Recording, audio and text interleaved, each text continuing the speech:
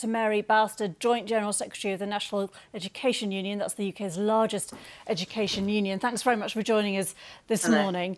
Um, what is your reaction to the results that we are getting in? Do you think they are perhaps the best effort that could have been reached given the complications in recent weeks? Um, I well, first of all, I want to congratulate all the students who are getting A level results today and vocational qualifications. They are the uh, victims of a process which uh, has gone wrong really from the start, but particularly wrong at the last minute.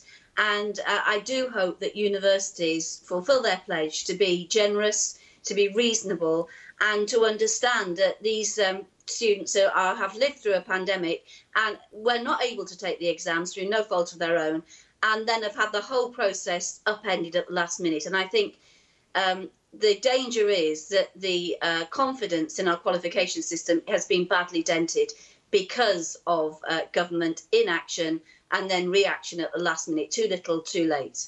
Uh, we heard, though, from the, the, head teacher who was speaking a moment ago, uh, just in the last hour, uh, that some of her students haven't been given any flexibility by universities, despite having their grades yeah. lower than expected. And I'm seeing that all over the place. I'm seeing that on Facebook and I'm seeing that on Twitter. And I think it's the problem is that universities are receiving um, more applications because the jobs market is so poor for 18 year olds and because the number of apprentices that are being offered by employers in these times has, has diminished, has decreased. So universities are, are getting more applicants and um, courses are filling up. And of course, the end result of that is that students who have seen their A level grades go down by one grade, at least, you know, 40% down by one grade or by two grades, are finding that the grounds for appeal change at the last minute um, and, and are not getting the places that they want. And as that head teacher said, learning next week about how you can appeal on the basis of mock exams is too late. Those places are filling up now. Who do, you, do who do you blame for this mess? Is, is it directly to be laid at the door of Gavin Williamson? I think it is, I'm afraid. Um, Gavin Williamson uh, uh, has Ofqual, who's the independent regulator, meant to be independent, Gavin Williamson should have been all over the statistical model, which, whilst it may work okay at a national level, there's huge volatility at individual school and college level. Uh, you know, I, am getting um, uh, this morning a phone call from the head teacher of a top grammar school who says he simply does not understand the results, even in connection with results in the same subjects one and two years ago. The, so the model is hugely volatile at school level, and that means there are individual tragedies where students and schools are going to find it difficult to um, appeal because who knows what a valid mock exam is yet. Ofqual haven't told us.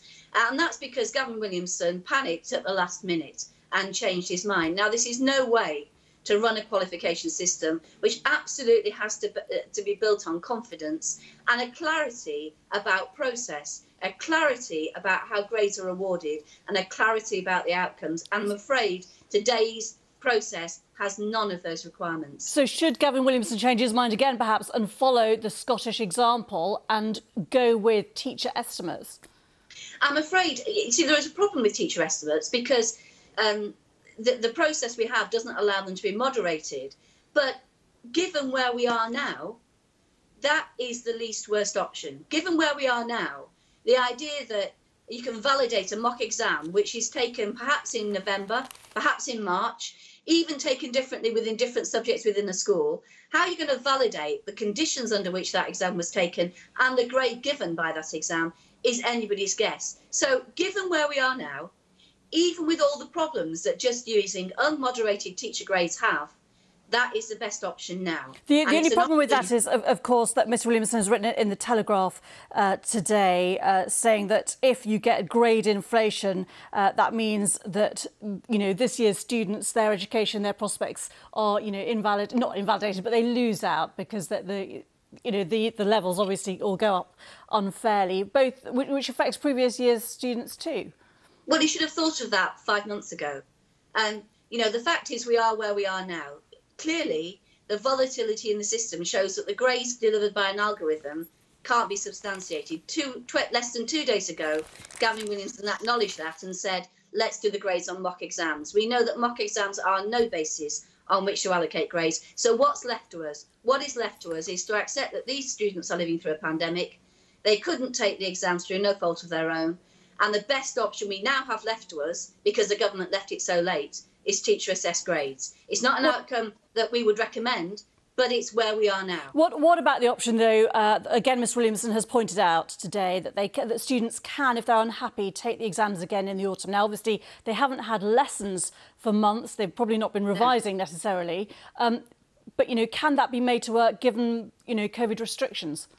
Well, I think it's really difficult with given COVID restrictions for that to happen. As you say, they haven't been taught. So, you know, schools work very hard to prepare students for exams that you know many of them won't be have been receive, receiving teaching for months before that, and that affects differentially upon different students. And also, so, so, uh, so just briefly, could they have? Late it's too late for students. I mean, they want to start their courses in September. The idea that they can start their courses in January, I think, is deeply problematic. They lose out on socialisation. It's very difficult for universities to offer two points of entry. I think that's hugely problematic. Just very quickly, if they do sit exams in the autumn, though, should they be the regular A levels or should they be something different because they because they've lost out in in so much learning recently?